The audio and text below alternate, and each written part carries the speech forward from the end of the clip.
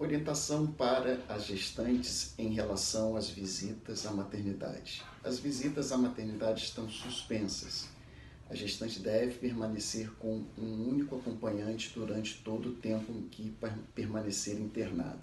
Preferencialmente, esse acompanhante deve ser o esposo, porque é a pessoa que vai acompanhar também o bebê em sua casa. É, as visitas ao UTI neonatal elas estão também suspensas as visitas de avós, irmãos.